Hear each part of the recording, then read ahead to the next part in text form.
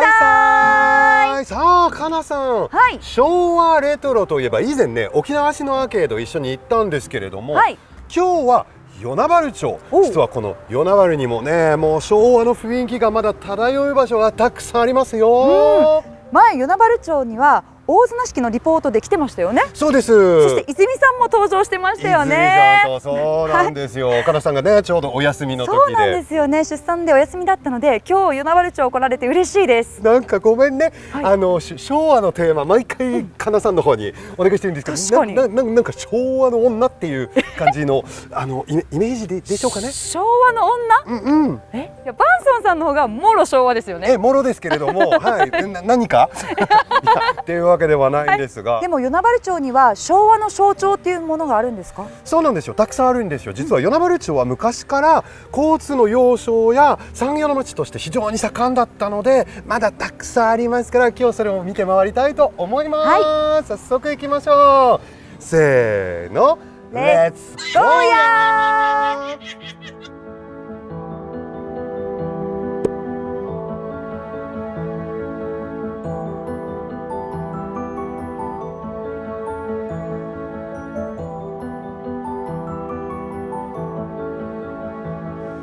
さあこの与那原町なんですけれども沖縄本島の東南部に位置し1914年に初めて那覇と与那原をつなげる京浜鉄道がもう開通されたんですね。はいでそれがもう戦前本当にこの東南部と中部をまあつなげて連携する産業経済の大動脈だったんですよね。なるで今日は昭和時代のはい。与那原町、昭和のことを知りたいならここでおす。昭和博物館？そうなんです。あ雰囲気ある。シーって。こんにちは。こんにちは。こんにちは。わあー。すごい。ーえー、すごい。見てこの古いわ電話音がすドアもね。昭和感がある。もう昭和感がドアの音からも出てますけど これねこの黒電話うちのおばあちゃんとかの家にあったよ。でもフランスも？ね黒電話も昔あったけど子供の時代はね灰色だった。グレー。そうなんだ。すごいなんか。だってこういうもうなんか形って使い方もわかんない。ね。ここれでやってる？であここで話す？え逆？もしかしたいやねちょっとわかんない。ど使い方がわかんない。どっちだろう？わからない。それがうん。同じ昭和生まれでも。そうそう昭和長いからね。本当昭和長かっったからね。た本当です。あーうわい。っぱい本当いろんな小物が。あってキャラクターがすごい。えでもなんかめちゃくちゃうん。なんか子供心に戻りますねあこういう。本当。わああなんか可愛い。こんにちは、こんにちは。よろしくお願いしまます。お願いします。我々ですね。今日、あの与那原町の昭和時代についてね、もう迫るっていうことで、あの勉強しに来たんですけれどもねワンスポット目こちら、はい。昭和博物館にはい、よろしくお願いします。こちらの博物館のコンセプトはどんな感じですかね、えっ、と基本はアンティークショップですね。アンティークショップ兼博物館。ああ、うんじゃあ展示販売もされていて。そうですね。あとはだからリースとかもやってますね。レンタル、レンタル。始められたきっかけは何ですか？は基本はマニアですね。基本はあの収集マニアです。もともともがともとですね。で、えっとまあ主に主に名古屋ですね。名古屋でまあ二十数年ぐらい集めとったんですけど、はい。まあ、お袋がねもうちょっとねあねお年寄りなので、あの一が帰ってき帰ってきたんで帰ってくるんですけど。じゃあもともと柳原町ご出身で。そうそう帰ってくるんですけど、まあ、このものを掘ってか掘ってるわけにいかないので。あずっとこれまで集められてきたものを。とりあえずこれを持ってきてこう皆さんにこう見ていただこうかなと思あそこら辺とかってあれなんて言うんでしたっけ？すごい蓄音機。ちくわいやちく蓄蓄音機。ですね。音音をためる。おお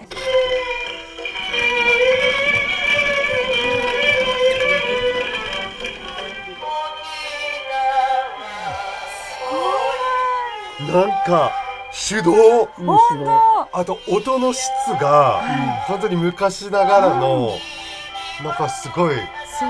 味がありますよ味ねがありますよね。あるわけよね、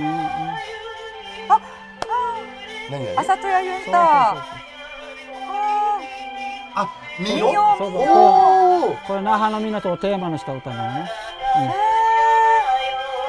こちらのコーナーも気になりますね。ねえここはすごい。こちら何でしょこっちは一応ですね駄菓子屋風ですね。う駄菓子屋さんをイメージして。いい本当だ。ですいろんなお菓子の看板ありますよね。なんかこれ駄菓子屋もそうなんですけど、うんうん。ね今の時代であんまりなかなか、あの見られなくなったんですけれどもなくなったものといえば風の噂によると、昔与那原になんか遊園地がああありましたね。あったとか、遊園地もあったし動物園もあったしゴーカートみたいなでかいやつもあったえー。でこの遊園地はななんていう？与那原テックって有名だね。たまにラジオとかでも言ってるねテックって。与那原テック、テあれテックテックってどういう意味かわかる？テクノロジー？ーそうそうそう。ああいや大体テックっていうと。あれはね本土のね、まあ、大きなメーカーさんと合体してここにこう。技術っていう意味でねテクノロジーの略で。技術者を呼んで当時の一番ハイレベルっていうか。じゃあ当時では最新のそうそうそうあの乗り物とかの遊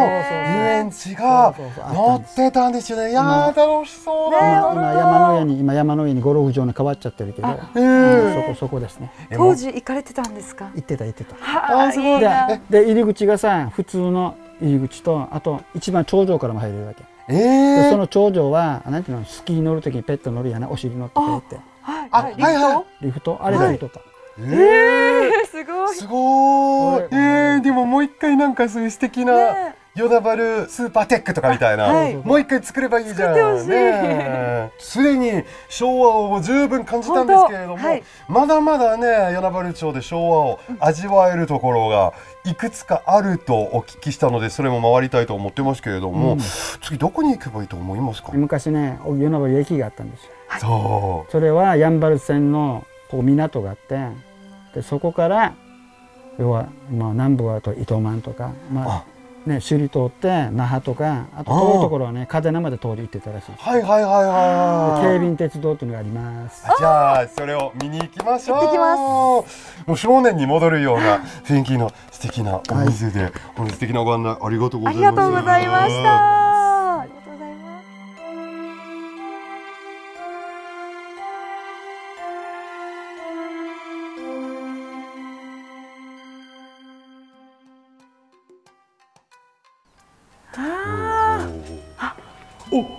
音も鳴ってなんか駅って感じですね。ぽい。この昔の与那原町の模型が、ね、あってこの鉄道があるのも見えるし。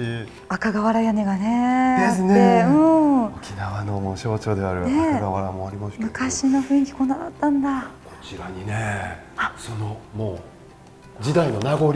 まさに当時の写真が。昭和のねそれこそ戦前の写真だったりもあるんです貴重な資料がたくさんありますね。このねこの歴史がもう分かるパネルがありますから勉強になりますね。先ほどバンソンさんもおっしゃってたんですけど沖縄にはかつて鉄道が走っていたんですよね。那覇から嘉手納糸満そしてここ与那原の3方面に敷設された路線網でした。うん。軽便鉄道と呼ばれていて軽便。はい。一般の鉄道よりも小さくて軽便とか軽便っていう愛称も付けられてたらしいんですよなんか人の名前みたいですね。ねケビンとかみたいな。そうですよね。そしてこの軽便与那原駅は1914年12月沖縄で一番最初に開通した路線で与那原線那覇与那原を結んでいて那覇与那原の終着駅だったそうなんです。沖縄県民の生活と経済を支えていたんですよね。しかし沖縄戦で線路施設が破壊されてしまってーそのまま消滅して1945年3月に廃止したそうなんです。そうなんですね。外には実はここね、まだその元の建物の柱も残ってるから、はいその時のね名残も感じられますね。うんそれから時が流れて数少ない貴重な写真資料または当時を知る年配の方々の記憶をもとに2014年の夏軽便与那原駅舎は今の形に展示資料館としてよみがえりました。あなるほど。これでこの貴重な資料がたくさん残ってますね。はい。実は、はい。カナさんを連れて行きたい場所がこの与那原町にもう一箇所昭和をもうじっくり感じられる場所がありますのではい。行きましょう昭和の女ですから。昭和の女昭和の男です。行きましょう。じゃあ行きましょう。チューチューポシュポッポー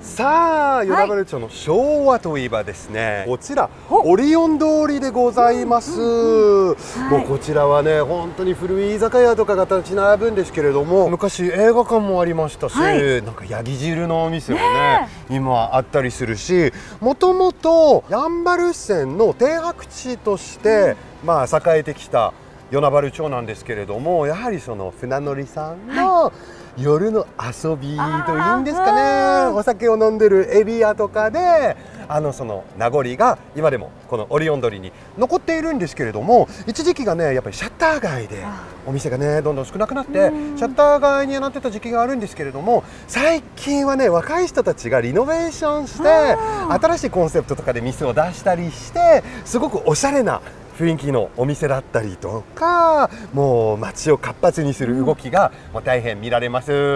また盛り上がりを見せてるんですよねね。いやでもなんかレトロな雰囲気のお店が立ち並んでいて、うんなんか独特な雰囲気ありますよね。そうですよねうん私も調べてきたんですけど、こちら浜城というお店なんですが、2023年の8月にオープンして、お店を切り盛りする店主の山城さんと。その山城さんのご兄弟のこだわりが詰まっているお店なんですよ。うん。店内は古民家の良さを残しつつおしゃれにリノベーションされていて落ち着いた雰囲気でもう居心地も良くてもうついつい長居してしまいますよね。うん。店主の山城さんが集めたこだわりのやちむんの器が美味しい料理をより一層引き立ててくれてまた日によって変わるお料理もおすすめなんです。カウンター席もあるので一人でもゆったりお食事やお酒も楽しめるそうですよ。は